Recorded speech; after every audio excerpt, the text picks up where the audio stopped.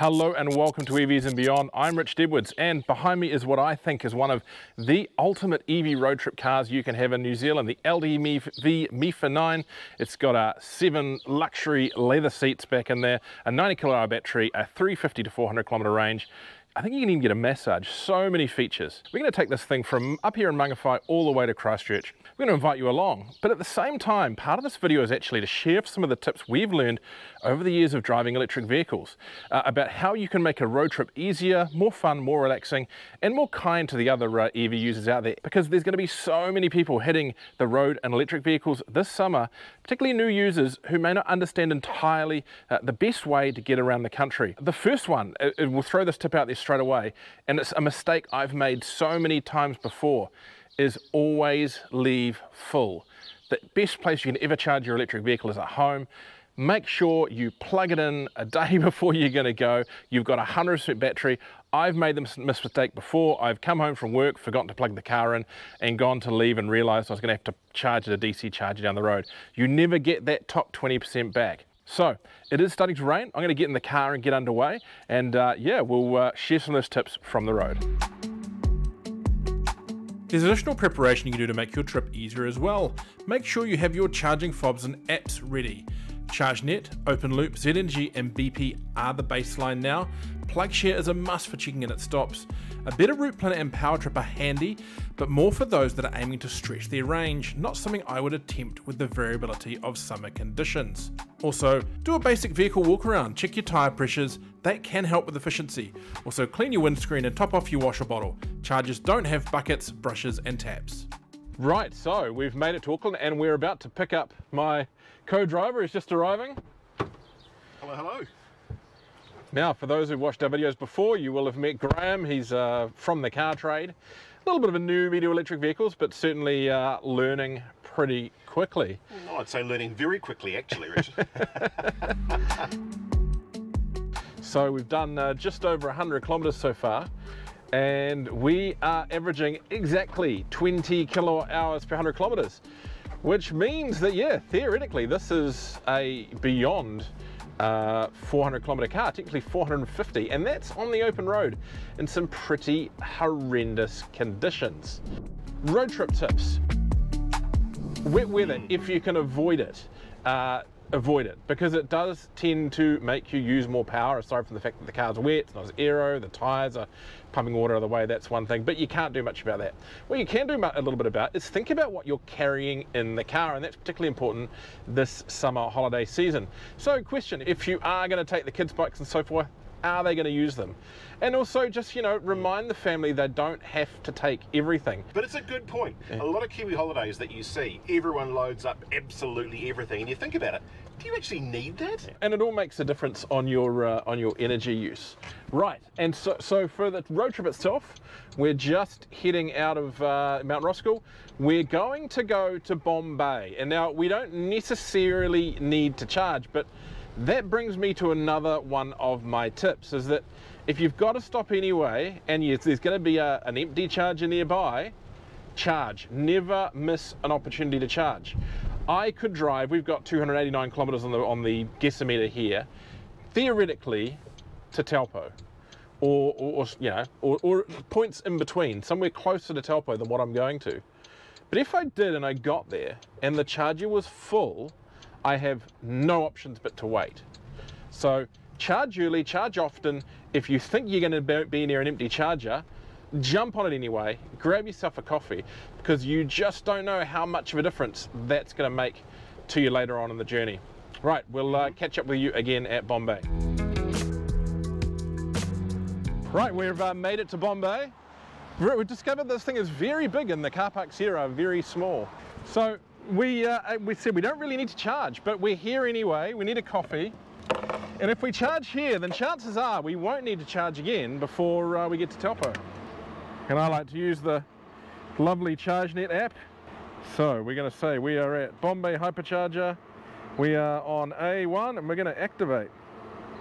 If we look up here, you'll see that they've now got these great big cable holders here just to keep the cables out of the dirt and out of the water. One of the reasons I like to use the Charger app, and I've showed this before on road trips, is because you can actually see your session and you can monitor it, you can see how far you've got to go. Uh, we are charging now at, uh, we're at 59% already, we're about a minute into our charge. It's just uh, running up at 93.7 kilowatts which is pretty good considering this car is only rated to charge at 90 so they've slightly under underclaim there, so uh, that's pretty good. We're going to go grab a quick coffee, and then from here, we're going to start heading down, hopefully to Taupo, uh, and uh, yeah, see we go. Right, so we are charged at Bombay and that was a pretty good charging stop. Now this car claims to have a 90 kilowatt hour charging peak but we actually saw a bit over 100 so in 22 minutes of charging we took on about 30 kilowatt hours. Now that's given us a uh, range of 361 kilometers on the dynamic GOM. I think that we're only just over 200 kilometers to Taupo from here. So uh, I would say that Taupo is our next stop, and because it charged so well on the hypercharger, that's what we're going to aim for. Now, because it's not the summer holidays, we are going to go straight there, but normally, as I said, if you drive past a, a charger and it's empty, so you drive through TRL, duck your head in if there's a charger going, take it, because you might not necessarily get the chance later. Right, we're on the Waikato Expressway, which is one of the rare pieces of road in New Zealand with a 110 kilometre an hour speed limit makes it a great place to test my next tip in regards to driving uh, and road tripping in an EV. And that is relax, slow down a little. Don't worry if you're going to get there uh, five minutes later, because you're going to get there later anyway. And uh, it can be more efficient to actually slow down on the road and on your trip. You'll use less energy, you'll get further between charges, and you'll need to spend less time at the charger when you get there we've been driving along on the flat for a while now and I've been doing some testing. I bought the bought the Mifa up to 110 kilometers an hour. At 110 kilometers an hour, it seems to be taking about 27, 28 kilowatt hours per 100 kilometers to maintain progress. It's hard to tell exactly, the meter's not particularly clear. We could do some bigger testing, but that would be a little, little bit difficult. Drop it down to 100 and it's more like 20 to 21 kilowatt hours per 100 kilometers on flat ground to maintain progress. So you're already seeing a massive gain there just by slowing the vehicle down that little bit. If you go further and drop it down to 90, then you're going to be using, from what I could see, 16, 17, 18 kilowatt hours per 100 kilometers to get uh, to keep maintain that progress. That doesn't sound massive, but it's huge in the longer run. If we're talking between 90 and 100 and 110, there being, you know, a 10 kilowatt hour difference. That, uh, that 10 kilowatt hours on the average of that vehicle is an extra 50 kilometers you can go. Or in regards to charging, uh, another, you know, 10 minutes less uh, that uh, you have to spend on the charger. Right, so we've uh, we've swapped sides in the car. We uh, had a quick toilet break before, and we're just now arriving in Taupo. Uh, really good run up to here. Um, so I think we are about 200 something kilometres from our stop at Bombay. We've still got 108 uh, kilometres on the uh, meter, and that's actually growing because we had a big climb getting up here and now we're coming back down. It's looking pretty good actually. Yes. Yeah. Similarly, our uh, our efficiency is uh, is still pretty good and dropping. We're running at 22.5. 22.5 and falling. And falling. Mm -hmm. 22.5 according to my maths gives this vehicle a 400 kilometer open world range and that seems to be about where this thing is landing. Uh, we're about uh, 370 odd K into the trip now. We've only done 22 minutes, 23 minutes of charging. We're going to go into what's going to be one of our bigger charges now for the day at Taupo. Uh, I'm going to jump on the hyperchargers there and going to charge for, I would say, about half an hour and get us up to about 90%. But that should take us all the way through to Bulls. Now, uh, Graham, your first time driving the, uh, the Mifa, what are you thinking so far? Well, you know, I think it's a really comfortable family wagon. We've talked about its practicality on the open road. We've been across one of New Zealand's worst sections from Putaruru coming up over the hill, Tokoroa, down to Taupo, and it's a pretty pretty average road. And yep, sure, it picks up a few of the bumps and bits and pieces. Um, I'd say for a people mover, maybe a little bit of refinement in, in the suspension department, but overall, this is a really easy vehicle to drive. And I was going to make a point too that our economy, we haven't been driving this like a trying to derive the best economy out of it. We've driven it like an average everyday Kiwi vehicle on Kiwi roads, following traffic, observing speed limits, and there's the sort of economy we're getting. So, yeah. you know, it's pretty impressive from that real world experience. Yeah, yeah. So most of the time when I drive a car on this kind of trip, they tend to underwhelm me for range. This is the first car in a very long time that's overwhelmed me. Let's uh, quickly get some charge, maybe grab some food, and then head on over the Central Plateau.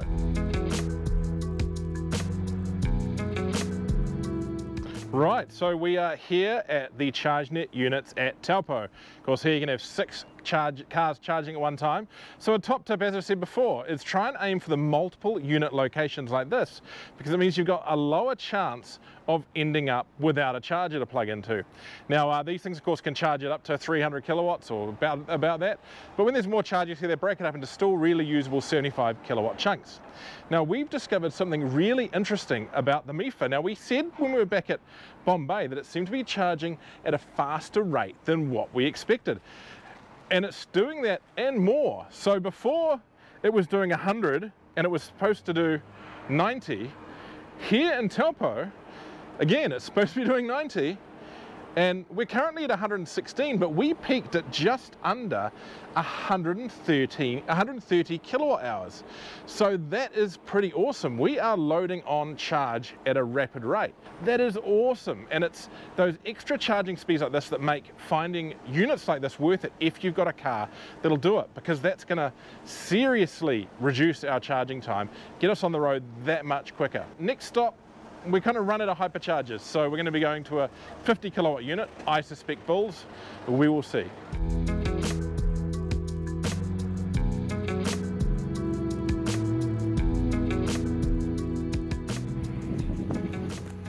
What do we have here?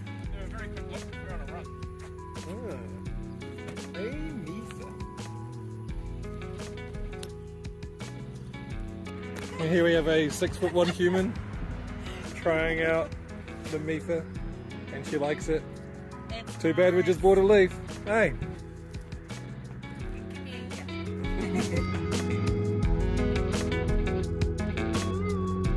right, and welcome to picturesque Bulls. Uh, in the Manawatu, or Rangitikei, Manawatu, one of the two. Uh, now, we have uh, made it here after a great run over the kind of central North Island Plateau lump the Mifa is doing fantastically. I can't believe how efficient this, this uh, minivan is.